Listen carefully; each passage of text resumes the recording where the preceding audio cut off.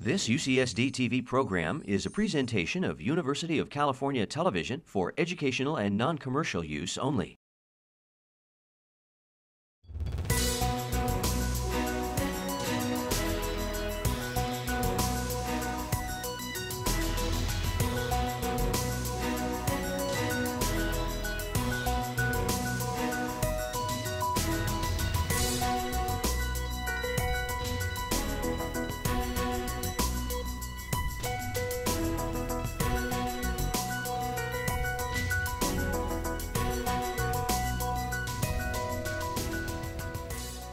Welcome to the Osher Lifelong Learning Institute. In these times, we recognize the responsibility of a great university to seek to apply new learning to the world's most intractable problems. The work of today's speaker, Professor Gary Fields, exemplifies this kind of effort. Dr. Fields is Associate Professor in the Department of Communication here at UC San Diego. Um, his research focuses on landscape and conflict in historical perspective, with special emphasis on the Palestinian landscape. He earned the PhD in City and Regional Planning at the University of California, Berkeley, and his work has appeared in the International Journal of Middle East Studies, the Journal of Historical Sociology, the Arab World Geographer, and other publications. His talk today, as you see, is titled Lord of the Landscape Israeli Settlement as Catalysts of Conflict and Obstacles to Peace. Please join me in welcoming Professor Fields. And I'd like to begin roughly two years ago with the now well known and celebrated speech of President Barack Obama uh, about six months after he came into office. The, what's, what we now call the Cairo speech, in which President Obama outlined a new vision for the Middle East. And among the comments that he made was one very succinct set of comments about the problem of Israeli settlements in occupied Palestine. And this is what he had to say The United States does not accept the legitimacy, note the word legitimacy, of continued Israeli settlements. This construction violates previous agreements and undermines efforts to achieve peace. It's time for these settlements to stop. Uh, by the fall of that year, President Obama was even more emphatic in stressing to the Israeli leadership that the conditions for peace required the state of Israel to change its, its settlement uh, project in the West Bank. But as we now know, most of, or actually, I think pretty much all of President Obama's remarks went unheeded, and not really, uh, not really much has changed since the Cairo speech. Now, uh, I'd like to go into why President Obama's remarks sort of provide us with a foundation for understanding this very, very difficult problem. And what the argument I'd like to make today is actually consists of three points. First of all, I, I make a point about the nature of the Israeli conflict. And what I suggest is that this is a conflict of competing narratives about rights to land. It's not a clash of civilizations, it's not a religious conflict, it's not a conflict about anti Semitism, although I will say that the conflict contains elements of all of these things. But it is fundamentally, fundamentally about two competing visions about who rightfully belongs to this territory. Secondly, the two sides in this conflict are vastly unequal, and Israel, because of its superior power, because of certain events that transpired, has been able to shape the landscape and to implement its vision of the way it sees it belonging to the land. And finally, and perhaps the most important point, is I suggest that Israel, Israeli settlements are the primary enabler for realizing this vision of the landscape and at the same time, they constitute the most serious and intractable impediment to an agreement for peace. So, in order to uh, in, in order to argue this uh, set of, of points, what I want to do first is I want to locate us in, in some historical context. Now, there's many ways that we could uh, that we could begin this story. We could begin it in the well, actually, we could we could probably begin it in, in biblical times if we wanted to do that. Uh, we could perhaps begin it at the beginning of Zionism in the uh, or modern Zionism in the late 19th century. We might even be tempted to begin it in what's referred to, or what my colleague Gershon uh, Shafir refers to as the second Aliyah, the second wave of Jewish immigration to Palestine beginning in 1904. But I prefer to locate the origins of what we're going to discuss today in the outcome of the 1948 war, uh, what the Israelis call the War of Independence, what Palestinians refer to as the Nakba. Now, as, as we know what, what happened, and, and we, we, we don't really have time to get into the historical uh, idiosyncrasies of the debates around this particular set of events, but what we do know, what we do know for certain, is that as a result of what transpired in 1948, roughly 750,000 Palestinians migrated from what is now the uh, borders of Israel. They either fled or they were expelled, uh, one of the two, and they were both of these things were intimately connected. Uh, it, the, the, word expelled used to be somewhat contentious, but now it's it's no longer really debated in the aftermath of the research of Benny Morris and other uh, what, what are referred to as new historians in Israel. Uh, this and even uh, former uh, Israeli Foreign Minister Shlomo Ben Ami has, has used this term in his book Scars of War, Wounds of Peace to describe the events of 1948.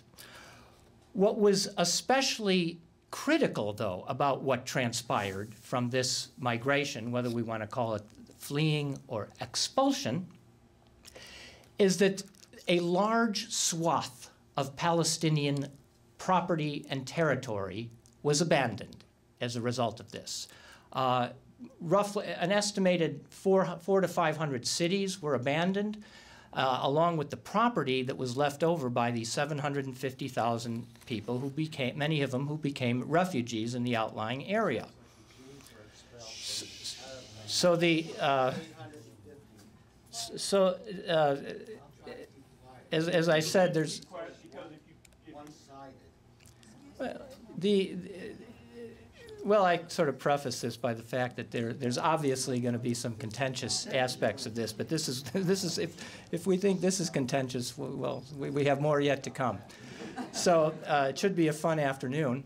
Uh, but in any case, uh, the, what, what we do know is that there was a large number of abandoned Palestinian towns and uh, uh, abandoned Palestinian property that posed a dilemma for the newly um, uh, the newly consecrated Jewish state of Israel. That is, what to do with this abandoned property. And what, uh, what the new state of Israel decided to do with this occur, actually occurs in four phases. And the, but the idea, the basic idea was to create state land out of this abandoned property. And the way this was done was through a number of very intricate legal uh, legal laws that that enabled property to, to essentially transfer from one group of former owners, Palestinians, to a new group of owners, the state, and then to be reallocated for Jewish settlement of this territory. So that the what we see uh, in this slide is actually the, the map of what what this uh, the new state of Israel looked like right after the, uh, the independence or Nakba, depending upon our perspective and choice of terms, right after this occurs in 1948. It was a, a vast frontier that lay open to the new state. And the way that the new state decided to uh, overcome this dilemma was indeed to use the uh, apparatus of the law to, to essentially dispossess those Palestinians who had owned this land and property, to take control of this land through a land development authority, to reallocate that land to groups of, Jewish, of new Jewish settlers, and to actually settle the territory. That is, to re, remake the landscape, which was once fundamentally and overwhelmingly Palestinian in its socioeconomic and cultural characteristics, to remake that landscape through settlement into a very different kind of landscape. And as we can see, the, the map on the left, sort of, uh, which is a, a, more or less schematic for this, and the map on the right, also a schematic, shows how this was essentially done. It was taking Palestinian towns and making new Jewish settlements out of them. Now, this process actually didn't happen overnight. It as I said, it lasted, it took roughly four phases. It lasted from roughly 1950, when the first set of laws was passed to, to uh, remake this territory, to 1960, when the process was essentially complete. Now, the other uh, May, now I, talked about 1948 being a watershed event in this process of settlement because that was the way that the new Jewish state settled the territory that it was now in control of. But 1967, the, we have another watershed date in the history of this area when Israel emerged victorious over a uh, set of Arab uh, a combined set of Arab armies from its neighbors. And many thought this was this victory was uh, sort of messianic. They it, it was kind of a, a sign of, of, of the times for for the Jewish community in Israel. And the dilemma, there was a dilemma that was posed to the uh, conquering armies of the state of Israel over the territories that it had won through this conflict. That is, these territories that it took over from, from Jordan, and the, the, the primary territories, Jordan, the West Bank, and the Gaza Strip from Egypt. The dilemma of the 1967 victory essentially posed a, a, very similar set of problems as 1948. That is, what to do with this territory. There were a number of plans for what to do after the victory of 1967. And the one that really got the most attention was designed by uh, an Israeli officer by the name of Yigal Allon, and it was called, predictably enough, the Allon Plan. It was formulated in July of 1967, and Allon was somebody who had understood the first 20 or so odd years, or, or more than 20 odd years, maybe it goes back even further, but one of the things that he suggested is that we've never held territory without settling it. That has been the essential motor of development for the Jewish state. And the plan that he proposed for these areas consists, and you can see on the map here, and I, I, I bring maps because I, I understood from my students that not all of us not all of us are experts in the in first of all in geography and certainly the geography of this territory. I learned to my chagrin about what my, what my students might know. So I never try to make assumptions about what what an audience might know. So I think it's always helpful to look at these issues in terms of the cartography. But essentially, here is the state of Israel. Here's the uh, West Bank captured from Jordan, the Gaza Strip. And what the Allon Plan called for was settling most of what we now call the Jordan Valley, essentially creating a contiguous corridor through the middle of this territory, through Jerusalem, and essentially splitting into two the, uh, the, the, the, West Bank, where Palestinians would presumably uh, live. They would live in two areas anchored in the north by Nablus and Ramallah, in the south by Bethlehem and Hebron. Now, needless to say, this, this uh, plan remained, it was never ratified, it was never officially acted on. But what we can say about the Allon plan is that it framed most of the subsequent discourses about what to do with this territory that Israel was now in control over. Pardon me, where is this? Uh, excuse me. It's, it's, as I said, it's right in the middle roughly.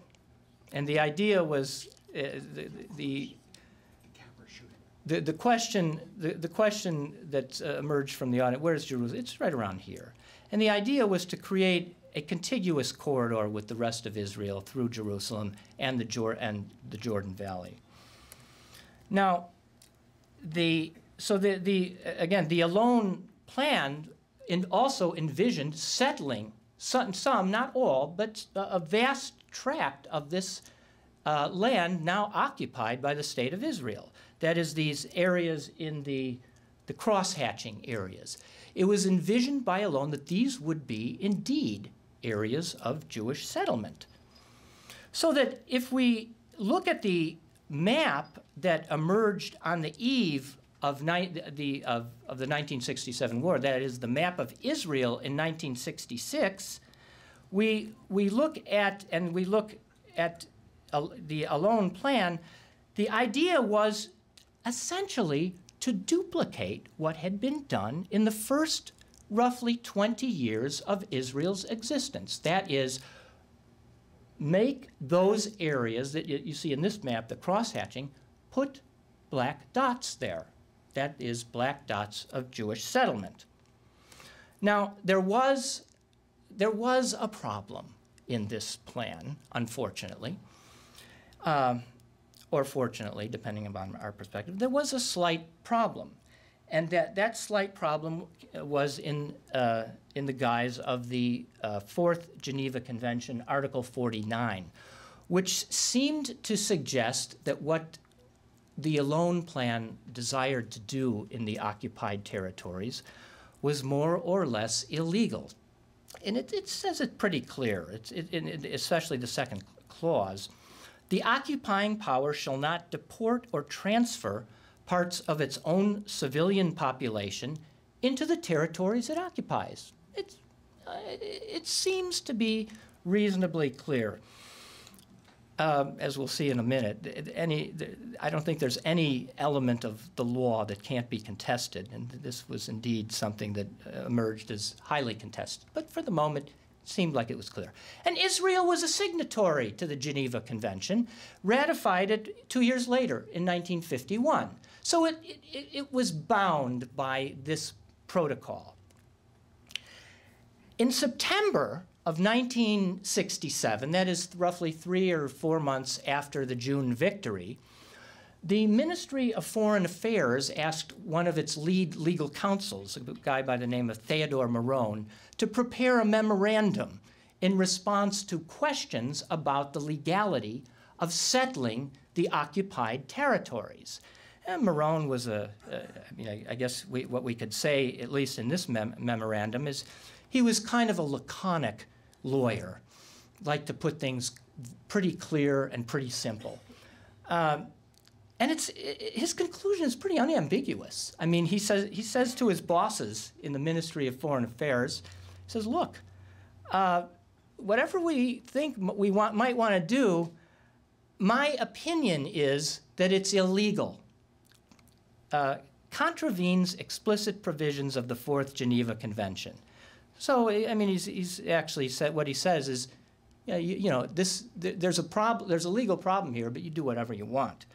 Um, it's, it's just interesting. I came across this recently. I didn't know about this, but on the 40-year anniversary of his legal opinion, he was, in, he was interviewed by Christiane Amanpour about what, what he thought of his opinion 40 years earlier. And he basically was unequivocal. He said, look, uh, we were uh, justifying occupying, sending our own citizens into the occupied territories at that time. Uh, but there's no, there's really no legal grounds for it. And he was of the opinion that what he had said 40 years earlier uh, was still as true in, 19, in 2007 as it was in, in 1967.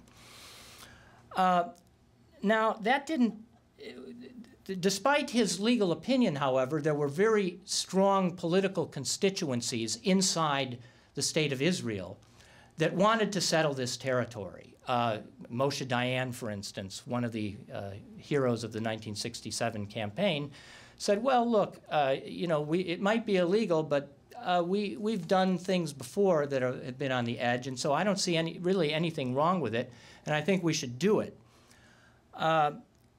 At, at, the same time, Ariel Sharon, a couple years later, had who was a real visionary when it came to settling. I mean, I, I say visionary in, with, in all seriousness. I think Sharon was uh, a real sort of geographer's geopoliti geopolitician. He really understood what we call the map and the basis of the map. And he, a couple years later, said, look, there's, there's an even more grandiose vision that we could implement here. And we could become essentially masters of the entire landscape of the West Bank if, if we play our cards right. Now, both, I mean, Sharon and, and Dayan were, uh, they, certainly they were uh, military uh, men, but they were, uh, and they were, I mean, Sharon later became part of the uh, Likud government, but they were what we would call old line politicians in the Israeli mold. That is, the, they were sort of in the tradition of labor Zionism, even though uh, Sharon would break with this. But there was another constituency that was uh, in the offing here, waiting in the wings, that, was, that would prove to be extremely formidable.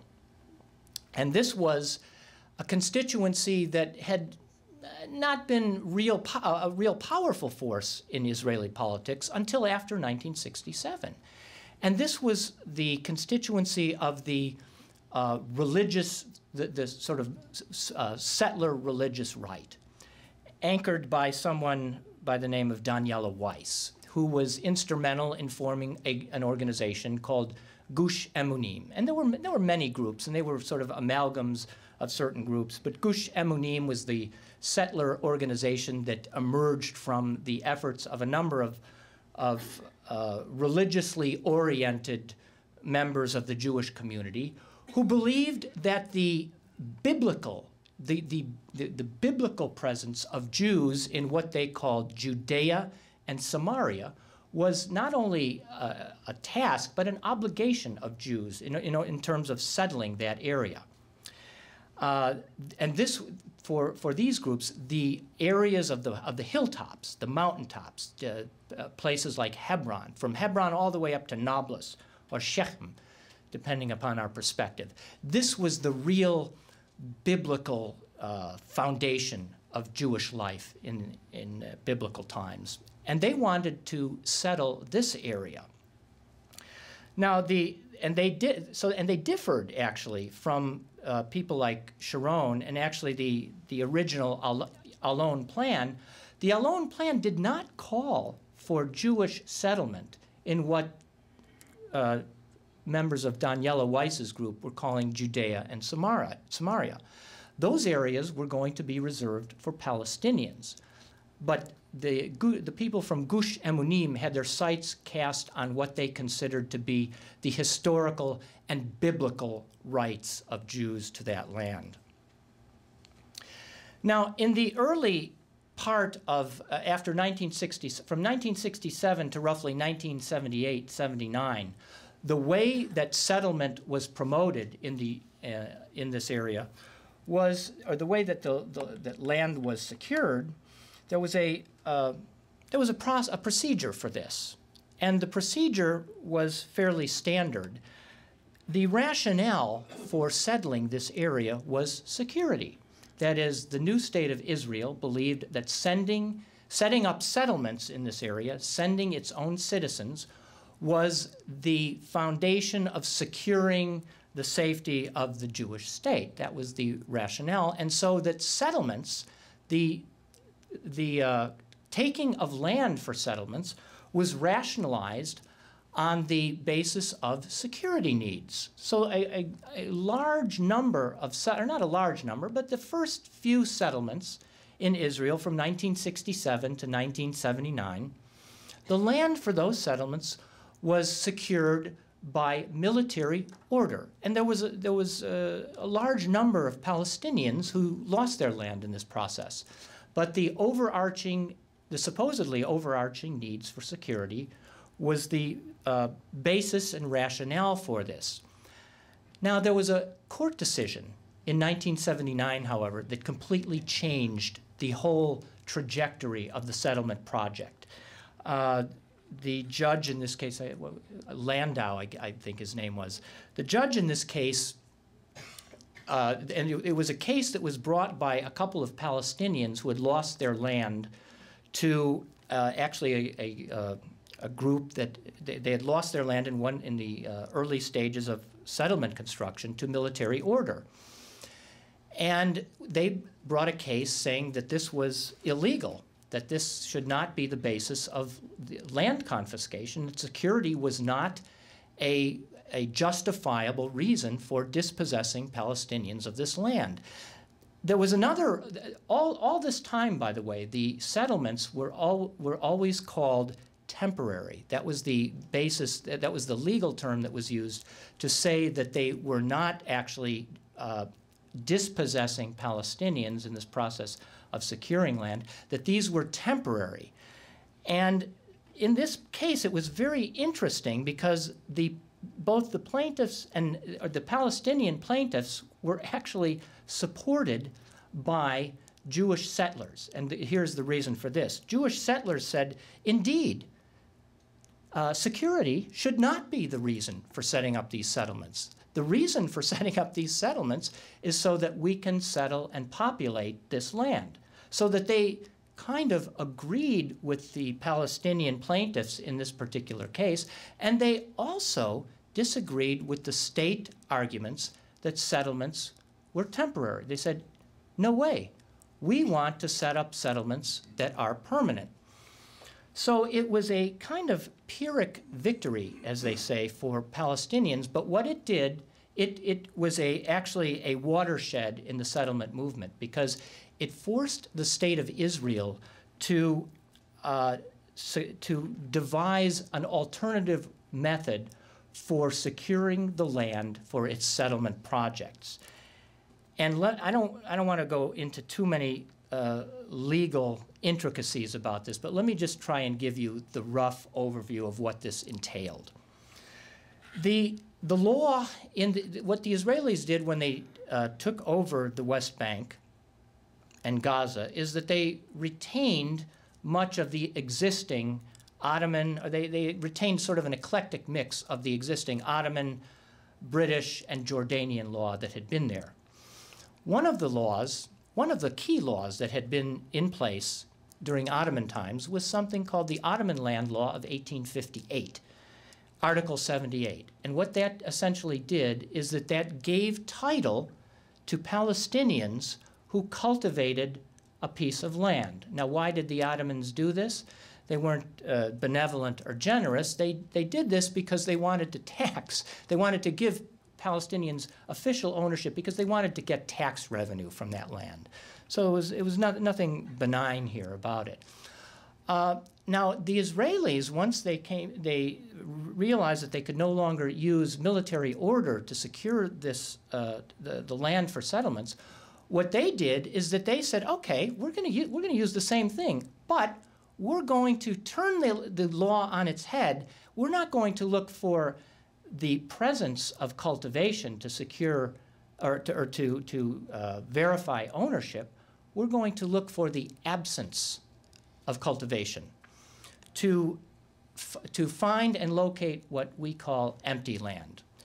So, uh, and this is, this is kind of interesting. The way they defined the absence of cultivation, they said if a, if a piece of property is less than 50% cultivated, then it's not, then it's, it's empty.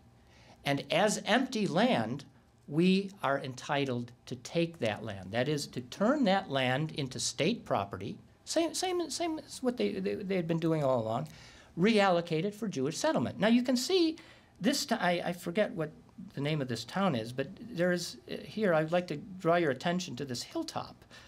Uh, and we'll, we'll see in a minute why that's so interesting and important. Uh, there's, you know, there's some olive trees here, there's some olive trees here, there's a couple more here.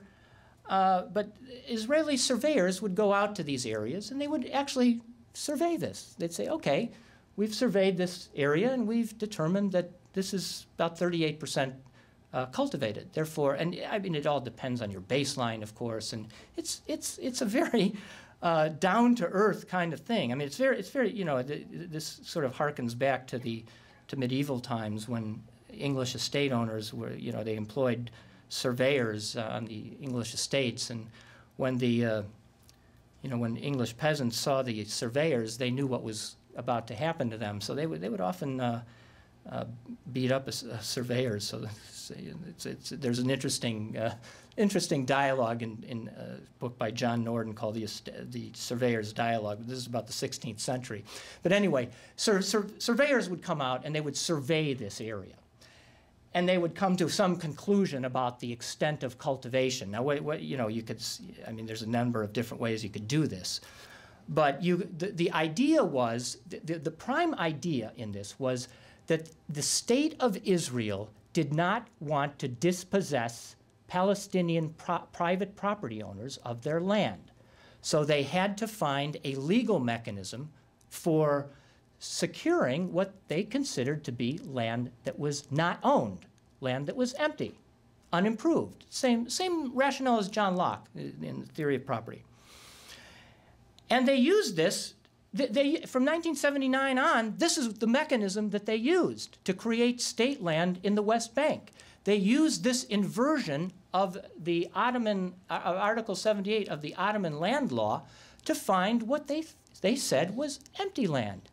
And they actually turned about 40% of the West Bank into Israeli state land through this mechanism. And many of you, I mean, I can already tell that some of you are very familiar with this, to this topic, but some of you have probably traveled in the West Bank and you've seen scenes like this. This is what the landscape has been transformed to. I mean, this actually is a very typical Palestinian town, by the way. I didn't say anything about it, but you know, the, the pattern of Palestinian urbanization almost invariably always looked like this. It was, it's very rare, very rare to see a Palestinian built up area, built up town on the top of a hilltop. The, the Palestinian town steps up to the hilltop and they leave the hilltop basically for either for, for cultivation, for grazing, but it's, it's almost never uh, taken up through uh, building and construction. Now the Israelis said, okay, the tops of those hills, they, they used this to secure the tops of hilltops as the empty land for settlement. So what, what you can see is this very typical scene. I mean, it's not, it's not typical. Ariel is a very large settlement, so it's not typical in that sense. But the pattern, the pattern of settlement was very similar to this. That would be a Palestinian town down at the bottom of the hill, in this case, Marda.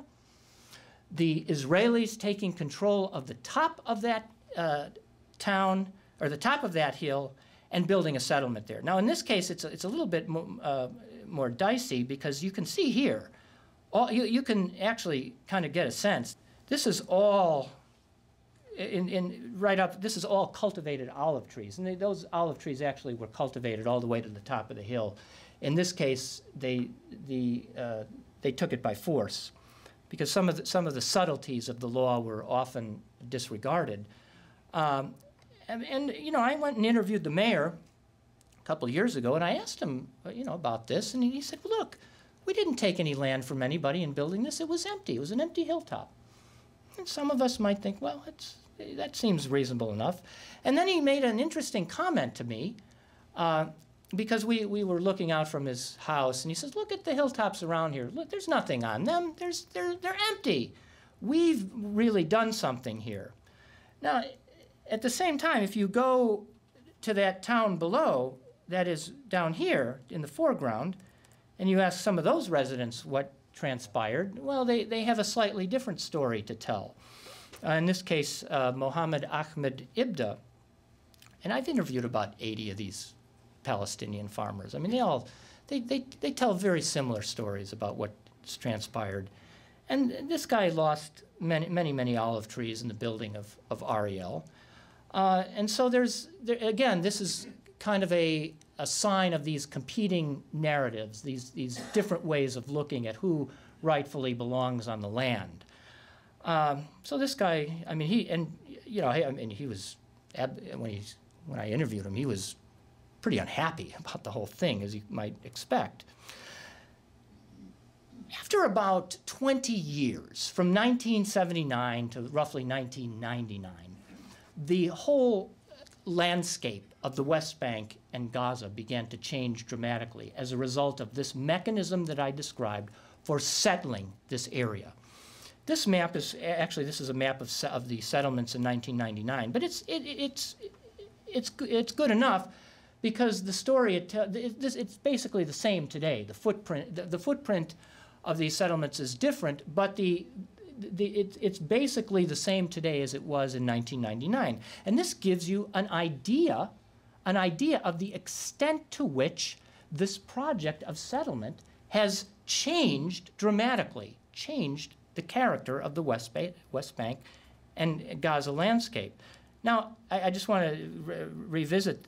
In 1966, we can see a very similar kind of story that emerged in the two areas, inside Israel and inside the occupied territories. The, the project of settlement has been an enduring one in terms of, of uh, Israel and its presence in this, in this land. Now, I just want to make some brief comments about Gaza because uh, we don't, we don't have, as many of you know, we don't have settlements in Gaza any longer. They were pulled out in 2005. There were about 7,800 settlers at that time. Some of you might know the story about that. But Gaza is, a, is an interesting case because it, it, the reason i am going to bring it up briefly because it's going to uh, affect some things that I say later in the talk. But the main area of settlement in Gaza was the south coastal area. This was the Gush Katif block of settlements. There were, there were a couple more, but this was really the main concentration. Now, in Gaza, there aren't hilltops. There are no hilltops. So uh, where, where do you settle? Well, the, they decided to settle on the beaches.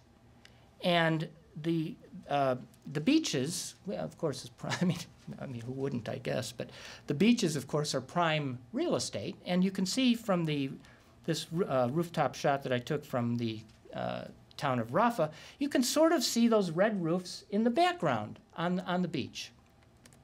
Uh, this is what they look like a little bit more close up. These, these I took, I was actually in Gaza in 2005 during the actual disengagement and saw some of that going on right there. They, they were actually starting to dismantle them. But, these, you know, these were heavily fortified bunkers, basically. Uh, many people from Rafah, by the way, they, because they took that, and there were, there were many Palestinians from Rafah who could not ever ever go to the beach because the, they could not even uh, go up to Gaza to the beach because the checkpoint system would not uh, let them through. So they, years and years they were unable to go to the beach. So this was the settlement project in Gaza. And one more thing about this, uh, these settlements in Gaza, it's true, they engendered enormous hostility on the part of Palestinians toward these settlers. I mean, there was, and the uh, the contention of the Israelis that the settlers were in some danger and needed protection, it, it's true. I mean, they, they did. They needed protection because of the way they had been set up and the, the enormous antipathy and resentment that these settlements created in Gaza. And in 2005, they uh, eventually were evacuated. We can talk about that more in the questions. Uh, now, I want to make some comments about the settlement program in, in what's called Greater Jerusalem, because uh, now Greater Jerusalem is really, that was the original target of the labor, uh, labor settlement policy in 1967. What they really wanted to do was not settle uh, those areas that I've just been describing that were essentially the project of Gush Emunim, they wanted to settle the areas in and around East Jerusalem to widen and enlarge Jerusalem. And, and this they have done. They've actually done this.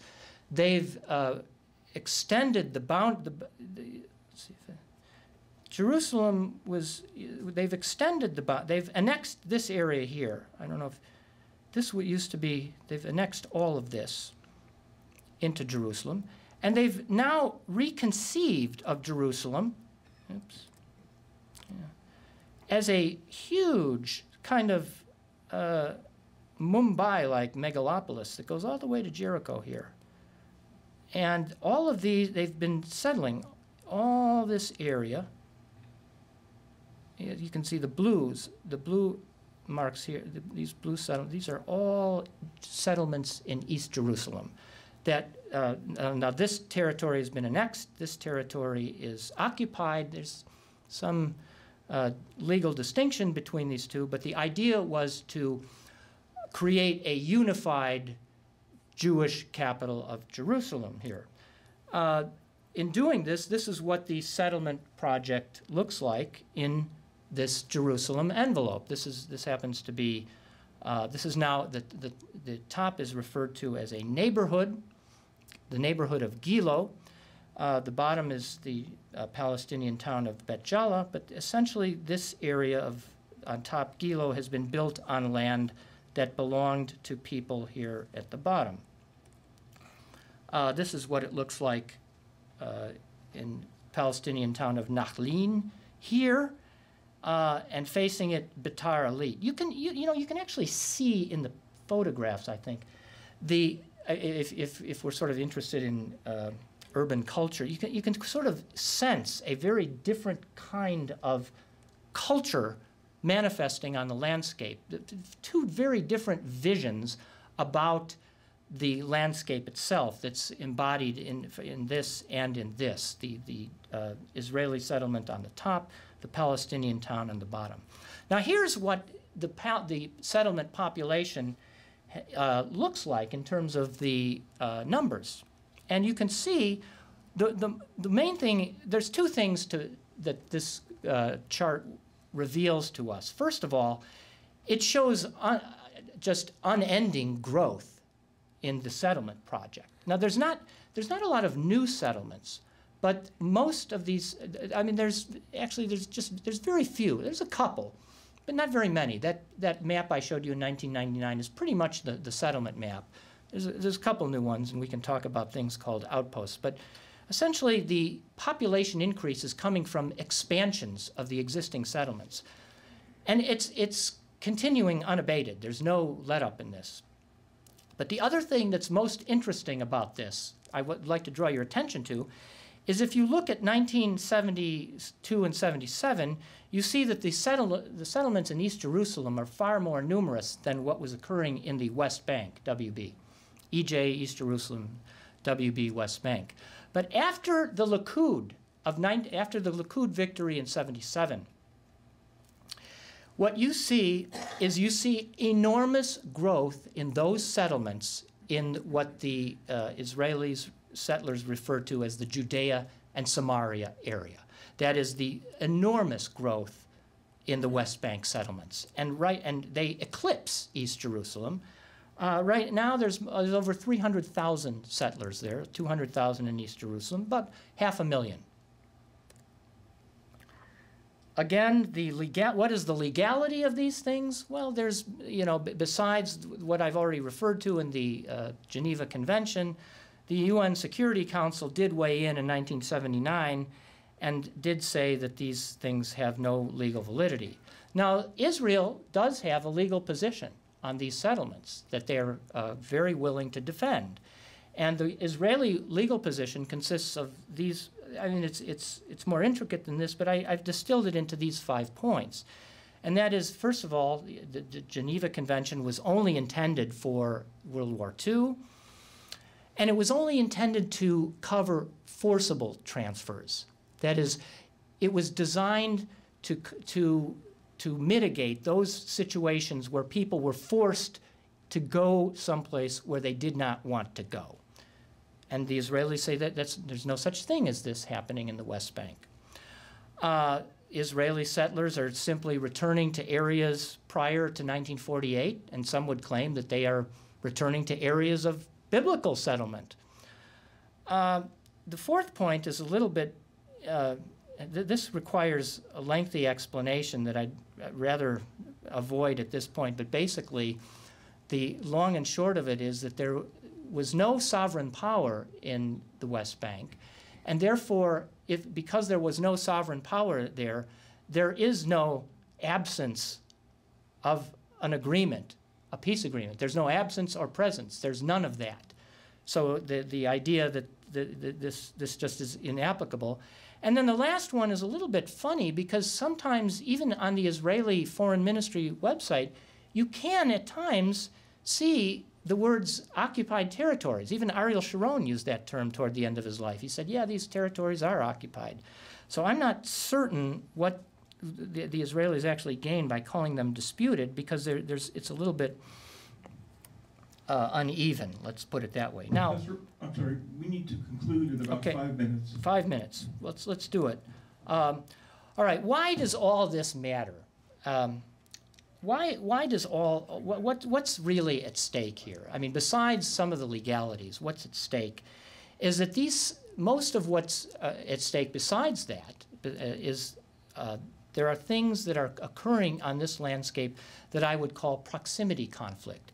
That is, conflicts between the residents of these settlements and the Palestinian towns right adjacent to them. You know, I had a, I, I had a student just this past term who, uh, when I was giving a, a presentation similar to this, said, you know, why can't they just get along? and uh, it's sort of reminiscent of Rodney King. And, and you know, I, I, I, I, I did the same thing. I sort of laughed in the beginning, but, it, you know, I think it is a good question. Uh, most of the, the questions like that often uh, force us to really confront difficult issues. And I think the difficult issue here is the way, and, and I'm going to have to summarize this really quickly because our, our time is ticking, but the, the issue here is how these settlements were secured and the dispossession that occurred in, among people in these, in the Palestinian, excuse me, the Palestinian towns where that did occur. There's enormous hostility. Are and are, are these people insecure? Yeah, I think they are. They, they have uh, some reason to be because these people down at the bottom are not all that happy about what's happened. Uh, sometimes this, and you, many of you have probably seen this. I mean, I saw this a couple of years ago with Mahmoud uh, Sabatin, a farmer from Husan, who's, who did lose land to the settlement in the background, Beitar Illit, lost 20 dunams, but still retains 20 dunams right next to this settlement. What happens to this guy is that almost on a daily basis, his olive trees are burned by settlers from, from the nearby settlement or, or vandalized.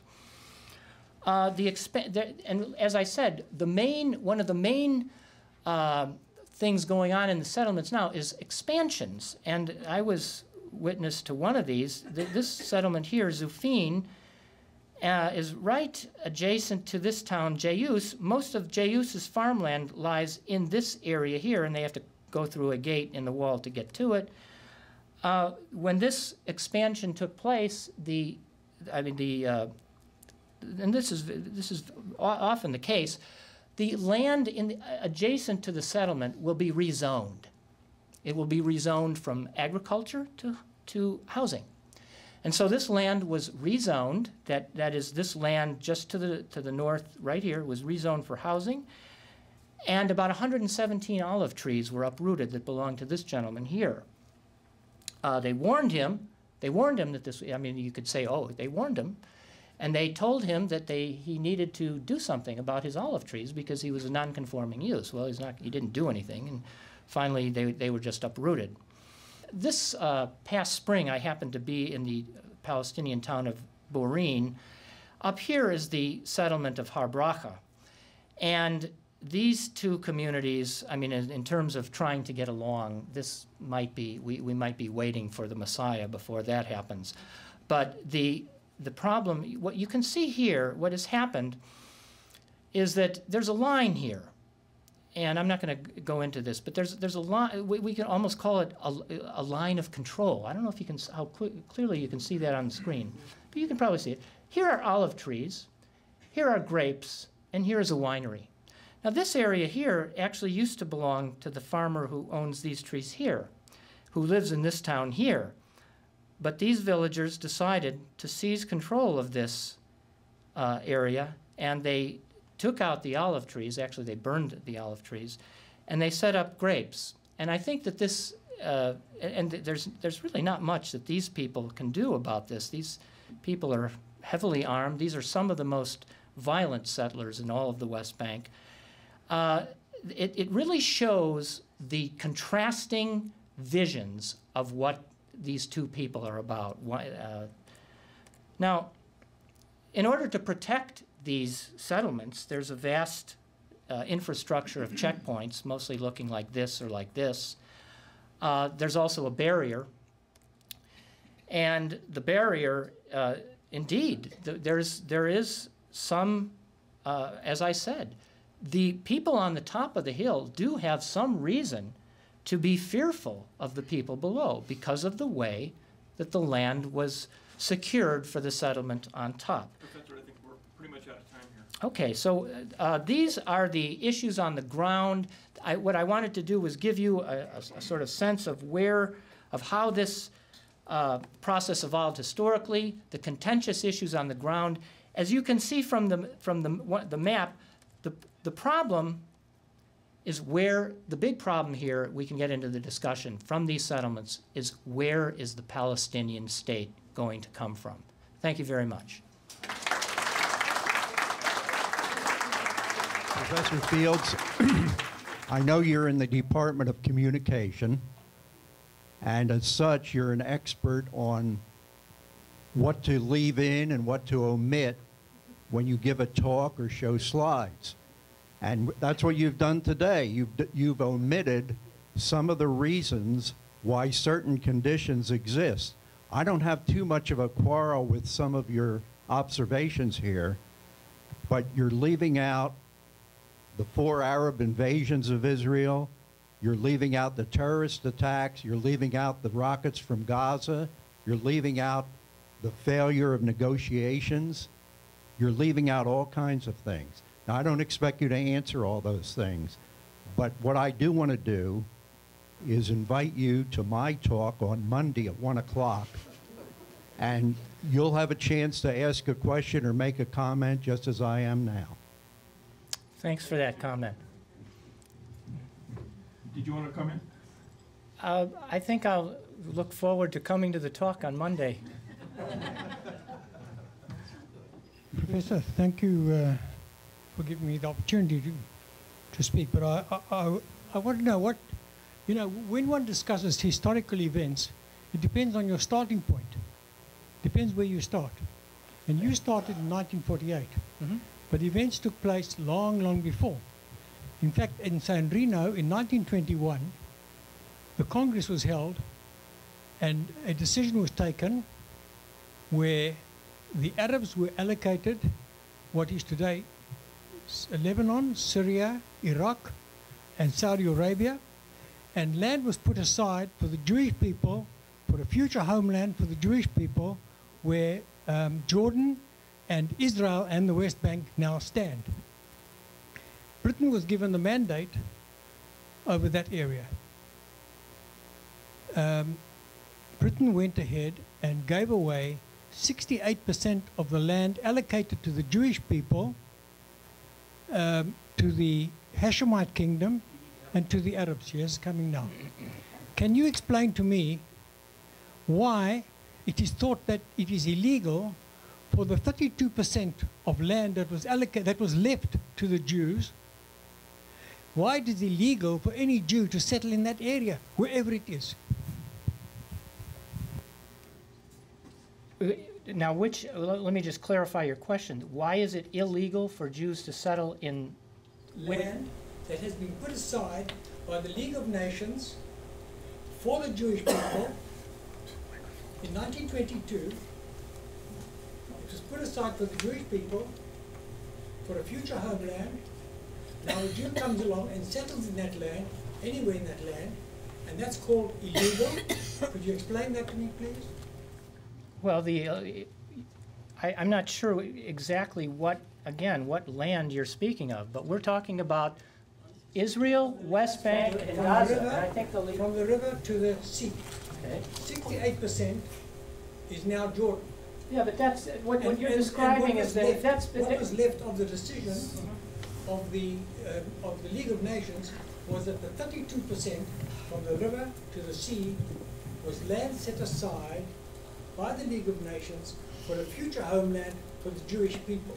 But th- that's, So why is it illegal to settle it? it, it's very clear why it's illegal to settle there, because the, the, what, what we're talking about is the conflict that, the way it was resolved in 1948, 1949, it set up the state of Israel, and it's, the, the state of Israel had, what, it's, the, the green line that was established, the armistice line, that was the state of Israel. Outside that, the, the state of Israel, that's land that does not belong to it.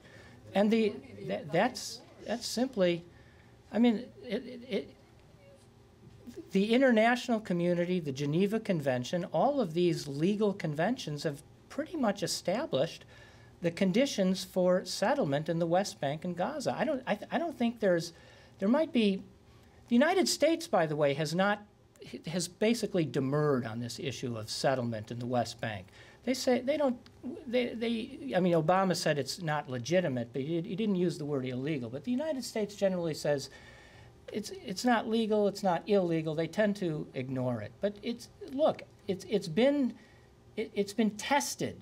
It's been tested by the Geneva Convention, in the Security Council, and in the International Court of Justice that these settlements are illegal. I don't know what more I can say about it. It's, it's, it's pretty clear. There's something called the spoils of war. After the Second World War, a lot of the Allied nations took property which Germany had, um, and in some case, or Japan, and they've kept them all these years.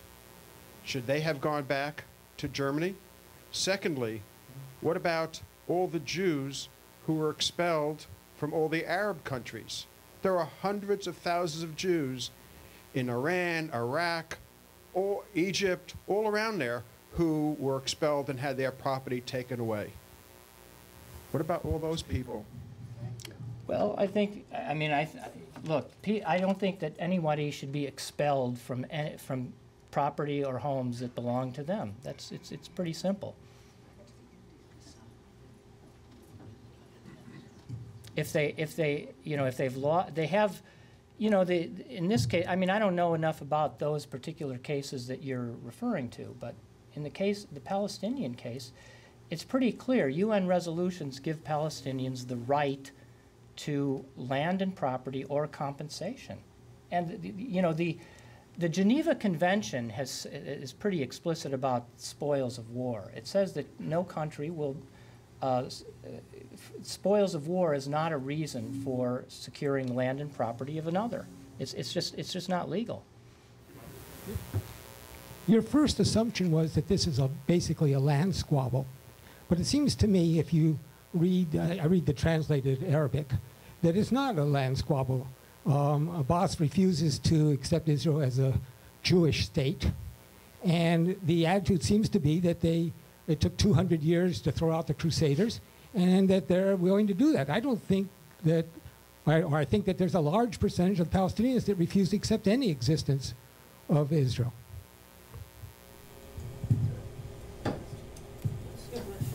So it's your, basically, I think it is basically a land squabble.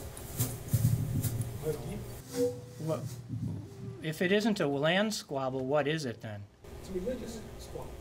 I think it has, like I said, I think it has elements of religious difference. But basically, the conflict is over rights to land.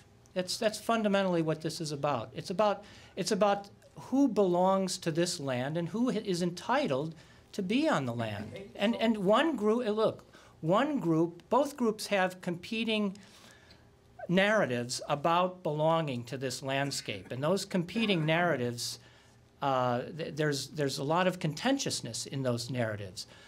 The, the fact of the matter is that one group has been able to assert its vision of its sense of belonging over the other. That's, that's, eh, but that, the basis of the conflict is that group being able to assert its power over the other group. That, it's, it's about land.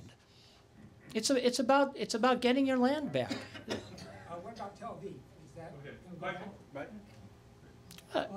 Yes.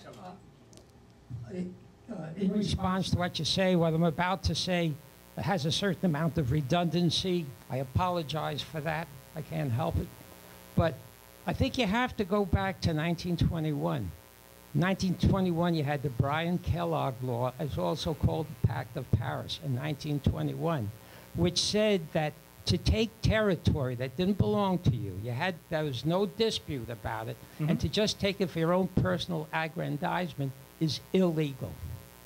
Okay? In words, like uh, within what happened in 1945, they passed the Nuremberg Rules, which said that uh, the aggressor country that went into another country and lost the war does not have the territorial rights. I mean, you can't have a war in the other country, and if they want to take your land, say, hey, wait a minute, this is our land, you can't touch it. What happened in 1945 was that uh, Russia, as, as you well, they, they, they took part of Poland and also took Eastern Germany, a big part of Eastern Germany, and made it and gave it to Poland. That was legal. They also did the same thing in the Sudetenland, which was occupied by Germans who were pro-Hitler, and they were given 48 hours to get out, and that land was given to Czechoslovakia. In 1948, is Israel, when they had the partition, the UN said part of it was a Jewish state. It was one third of the territory. The other two thirds, by population, was an Arab state. The, hmm? Oh, I, no, it's going to take me 20, 20 minutes to go along. So I, know. Well, give it to somebody else. Look, I, I, I just wanted to make, you know, the com, I, by necessity, I've cut out a, a particular portion of this conflict for us to focus on. And that is the settlement issue, because I think it's really the most intractable and difficult issue that is the biggest impediment to peace. I, now, and I've tried to explain what some of the reasons why that's the case. Uh, a lot of a lot of you want to uh, ask me about a lot of different things, and I think I mean that's of course you, you want you can ask me anything you want, but I, I would ask that you consider the topic at hand, and maybe we could get a little bit more specific on the issue of settlements and the peace process. Okay. With, with the evident intransigence on both sides, is there any chance of a, an evolution towards any settlement of this or evolution towards peace? And what do you see as the steps that'll take us there? Well, you've obviously asked a, a, very difficult question. I, the one person in, who I think has the most insight about this is the former deputy mayor of Jerusalem, a man by the name of Meron Benvenisti. Uh, Benvenisti was interviewed on 60 Minutes, I think it was a little over a year ago, uh, by Bob Simon. Very good interview. And Simon, and I was going to play the clip, but it's, the techni technical stuff is too complicated now, so you'll have to just bear with my imitation. But Simon said, uh, I mean, Benvenisti has been, has been uh, analyzing the settlements for decades. And Simon says, well, what do you think the chances of a two-state solution are? And Benvenisti said, the chances of a two-state solution are nil. The geopolitical situation that has been created on the ground from the Israeli settlement project cannot be undone. And so the, what this uh, has posed for people like Benvenisti is that what, and, and simply if you look at the map, some of the maps that I showed, it is very, very difficult to find in those maps what the so-called negotiators are discussing. They're discussing two states, but where is the, the Palestinian state? You have, you have two states that have become essentially fused into one contiguous territory. Fu fundamentally, that is the reality. I have I a mean, question my- for my- you, my- and I'd like your opinion on. uh, Well, I'm not done with my answer. Sorry, Uh, like. My, my, uh, what I'm about to say in response to the, the previous gentleman's question is that I don't think, I, I don't see these settlers being moved from their homes. I mean, the West Bank, th this is their home. It's been their home for decades. Uh, you know, getting rid of 7,000 people in Gaza, that was a big, pretty big conflagration try imagining 550 to 600,000 people. They, they're there. So what are you going to do? Well, I mean, I, this might not please some of you, but I think there's only one solution, and it, it's, it's, not, it's not the solution that you might be thinking of. I think the only solution really is a secular democratic state. That is, and the reason for that is what has happened on the ground, on the landscape, has made every other solution completely and utterly untenable. Uh, We, I'd like your opinion on something, but uh, before I ask, get your opinion, I'd like you to just comment, because the Israelis did exactly what you're proposing. They abandoned the settlements in Gaza. How'd that work out for them? How'd that work out for anybody?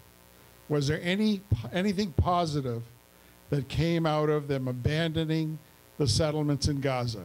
If they abandoned the settlements in the West Bank and abandoned all of the Palestinian areas where settlements have been built and laid down their arms, the Israelis laid down their arms, would there be a Jewish state, in your opinion? I know you don't want there to be a Jewish state, you want there to be a secular state. But that's not what's there, and that's not what's going to be there, because the Arabs will not live in a secular state. There is not a secular state in the Middle East. There is a Jewish state, and there are Arab states. If there's going to be peace, which I don't think there's any chance of, it will have to be with a Jewish state as part of the landscape. But I'd like your comment. What do you think would happen if the Jews moved out of the West Bank as they moved out of Gaza? Well, if they did that, I think there would be a chance for a two-state solution. That, that I, I do think that's the best solution, by the way. But I don't, short of, of removing or doing, or the settlers deciding that they would rather live in Israel, I don't see that happening. So, yeah, I mean, in answer to the last part of your question, if, if the Jewish settlers decided to pack up and abandon uh, what they call Judea and Samaria and go in Israel, go live in Israel, I, yes, I think we would have the basis of a, of a solution. But I don't. s- In Gaza, why didn't that happen in Gaza? They installed rockets where the settlers were. Well, you know, the, situa- the, the problem in Gaza is really much more complicated than what you think. I mean, the, the, the, the problem in Gaza, indeed, they pulled out the uh, 30,000 troops that were guarding the, the 7,000 settlers. But they, unfortunately, they did not pull uh, all of the, the uh, control in and out of Gaza. The, the entire society of Gaza was still completely controlled and dependent upon Israel. It really, you know, when you, I'll give you one, one, I'll give you two examples that might make this more concrete.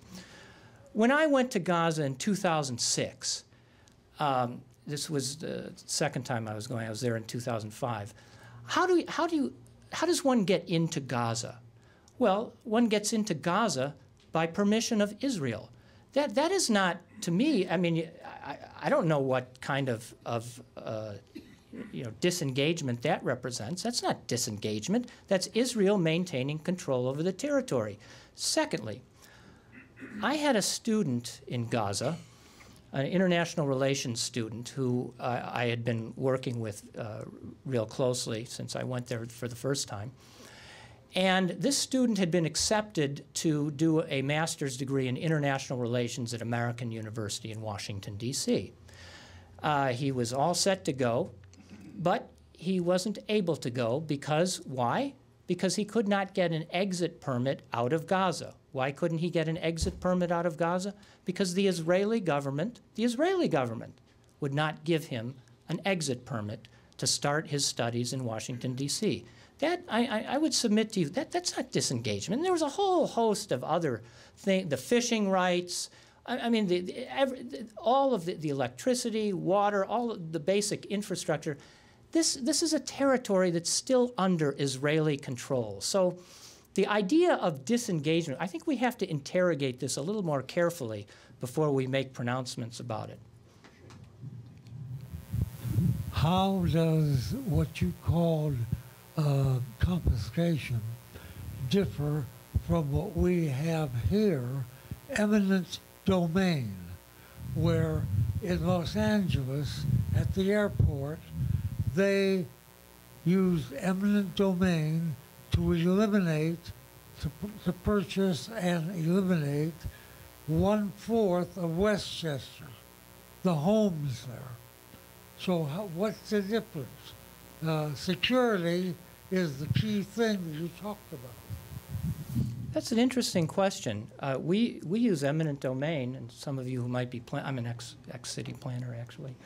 Um, eminent domain is used, in, a- especially in a lot of redevelopment contexts, uh, for economic development. And what it involves is the seizure of private property for public purpose. Uh, it does happen in this country that some private property is taken for public purposes. It, it, it does happen. Uh, the the extent to which this happens, though, is relatively infrequent. To compare eminent domain in this country with what's going on there, though, I think are two very, very different kinds of, of uh, practices. Th- Their eminent domain, th- this is, this is not really eminent domain. I would have to say this is, this is land, uh, this is land confiscation. It's very different. And it's land, it's, it's not, the public purpose here is very circumscribed. It's, it's very, there, there is a public purpose in these land uh, seizures. The public purpose is to house Israeli citizens. Uh, unfortunately, I don't think that's a sufficient condition for uh, the seizure of land that's been, uh, that we see across the, the West Bank. There has to be some kind of public purpose for the other side as well, and, and for it to be equitable, and I, I just don't see this. So it- it's an interesting comparison, though. If the Israelis did decide to go back to their other borders, so there could be a two um, country Mhm. situation, what would the Palestinians want to done with those settlements? Would they want them destroyed? Would they occupy them? I mean, Well, what, what an- would happen to them? Yeah, that's an interesting question. I think that if there, I mean, again, this is all conjecture, but we, we can only uh, go on the, the Gaza example. Uh, but I, I think, I think most likely the certainly the religious buildings would probably be destroyed. Much of the housing would probably be destroyed. I mean, I, I, I- don't see the Israelis just sort of abandoning them and saying, well, here, ta take them over. And at, at the same time, I don't see the Palestinians wanting them. I think you can see that the the cultural visions of these i mean you look at a picture like this the, the, the, you can almost see the two different cultures embedded in these different views about how to develop the landscape. So I, I, I would see the palestinians rebuilding from scratch. But you know i think we're talking about something that's quite remote and not likely. And not, not to make you overly pessimistic about this but i don't see this happening uh, in the near future. And, you know, even if you listened to uh, Prime Minister Netanyahu's speech in the, in the Congress, uh, when was it, two months ago or so, the, what, what he suggested there was, is basically, uh, look, and, and, and you got 29 standing ovations. What he was basically outlining is he said, look, we're going to continue to occupy this place. We're going to be in the Jordan Valley, Valley for the foreseeable f- future, and we're not going back to the 67 borders. And uh, these, these congressmen applauded that. Do we have a question here? Yes, I have. Uh, Well, just one minor comment. Gaza would not be as restricted if they had not been sending missiles over into Israel day after day. But the other comment is, the or a question, there's an awful lot of Arab land available. The whole Sinai Peninsula, which was given up by Israel, and Gaza, of course, was given up by Israel. Isn't there any other portions of Arabic land that the Palestinians could resort to? That's my.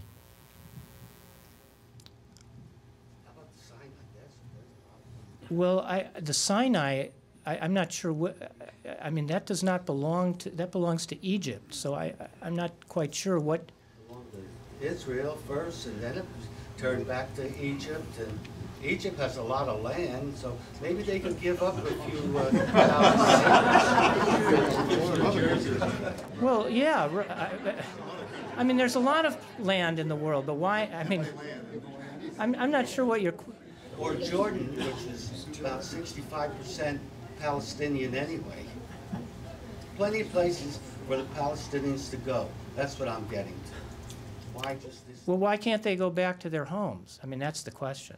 You know, they, they're entitled Why to. can't the Isra- The and- Israeli or the Jews who were kicked That's, out that's the law. The law, lands Can't go back to their homes. I, look, like I said, I think that that anybody, there, there shouldn't be any forced displacement anywhere. I'm against it.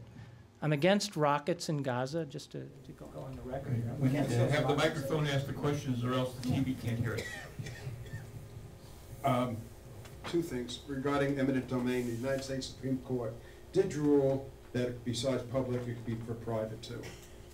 Uh, That was a ruling about two years ago. Even though I might disagree with it, uh, the Supreme Court did rule that way. Now, when you say Israel should uh, uh, should be a secular state, are you saying then um, all the occupied areas, they should also be given, I have a follow-up to my question for this, uh, be given a equal voice in a vote? Is that the question? Yes. Yeah, basically, Okay. basically, my, my position is the same as Tony you're Judt's. saying that. Then Yeah, one person, one vote. One, one person, one vote. Right. With the population growing, with the Muslim population, uh, of having so many children, and the Israelis aren't having that uh, type of uh, situation. On the contrary. That eventually. That's not true. They'll become, that's why Israel has not annexed that property, that territory to make them citizens, to Mm-hmm. give them a vote, because they know in the future, there would be more Muslims than Jews there. And what would happen then? Then, when there are more Muslims than Jews in Israel, then you will have, the country will become a Muslim country under Muslim law. Well, I, I don't know that we can predict anything, but what I do know is that you, the, the idea of a state based, and whether it's the Jewish state or the Islamic Republic, I'm against, I, I think it's not a model for citizenship in the modern world. I think the model for citizenship in the modern world are secular democracies where people are equal. You made comparisons to a lot of other places in the world. For instance, in, if you want to go to Tibet, you have to get a, a visa from China, if you, you know, permission from China. In Croatia, if you want to go to the beach, if you live in Herzegovina, you have to go, which is two mile stretch, so Gaza was like that. But you mentioned also Israeli citizens, and there are many Arabs who are Israeli citizens, and there are model places within Israel where people have coexisted more recently.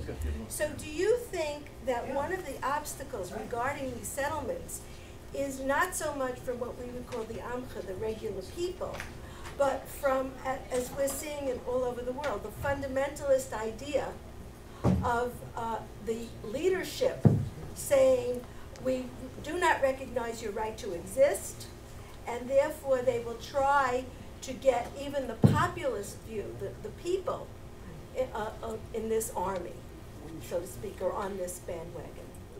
I think the gist of the question seemed to focus on the possibilities for cooperation between different groups of people. And indeed, that's, that's what I believe. I believe that those possibilities exist. I look at situations that uh, in 1985, for instance, looked pretty bleak uh, in South Africa. But, you know, the South Africans, I mean, that doesn't mean that that society doesn't have enormous difficulties and problems. But I think I, I re- really think that ultimately this is the only solution to solving the conflict in this in that region. There's there's I just don't see any other. There, there's there's a couple of options. There's we could go another 45 years of occupation. Uh, we could try the two-state solution, which, for reasons that I've tried to outline here, and uh, people such as Meron Benvenisti have suggested, is untenable. Or we could say, okay, the model for uh, modern citizenship seems to be uh, one of secular democracies and cooperation. We could go that route. I, I think that's actually the only. I, I mean, two years ago, I didn't believe this. I, I was firmly in the camp of two states. But I think I, I don't see it happening. I can't see it happening. And I think the only way that there's a going to be a solution is, is actually, I'll, I'll paraphrase my student. I mean, I think people are going to have to, to get along, and there's going to have to be some, a different kind of a political entity there, and I call it a secular democracy. You can call it whatever you want, but I think that's the only We have, uh, solution. Time for only one more question. Professor, there seems to be a lot of concern uh, among people that I've talked to that this issue is not being handled in a fair and balanced way as far as UCSD is concerned. Could you explain to us how the university handles this as far as, in some circles, you're considered a partisan for uh, one side. How is the other side treated at the, at the university?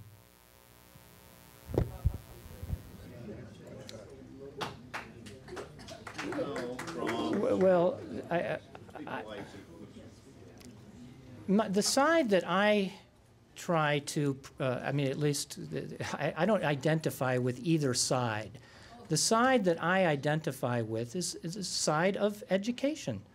Uh, that's the, the goal here. It's, it's, it's to share the best information about this issue, and it's, it's the only way we can proceed. I don't, I, I don't really know how the other side is treated. I'm, I, I, I don't know how I can answer that. If, if in, indeed you're identifying me with one side, I don't know how I could respond to your question about the so-called other side. I mean, our job as educators is, is to provide students with information so that they can make decisions about contentious issues like this. And, you know, I, I have no stake, for instance, in whatever, whatever position my students want to take on this issue or any number of different issues that I teach about. That's their business. But they have to know what the arguments are, the various arguments on both sides, so that they can make an informed and enlightened decision about contentious issues in the world. That's the only, that's what we do at the university. The university, you know, this is not. People think that the university is a metaphor for Fox News, that there's something here that we call fair and balanced. But you know, that's not what a university is about. A university is about the sharing and pondering of arguments about the world. That's how we that's how we gain knowledge about what's around us. We don't we don't gain knowledge about the world through some mythical uh, thing from Bill O'Reilly about something called fair and balanced. We argue about what the what we think the world is. Arguments are by definition they have a point of view. Now, if, if you uh, obviously I have I mean in my selection for a presentation there's pers- there's perspective and point of view in this, just in terms of what I have to winnow down to, in order for the presentation to be coherent, to, to fit into a, a time frame. So, yeah, there's we, we have to make arguments so that we can share those arguments and come to some better understanding about knowledge and, and who we are. On behalf of Osher, Professor, I'd like to thank you very much for coming and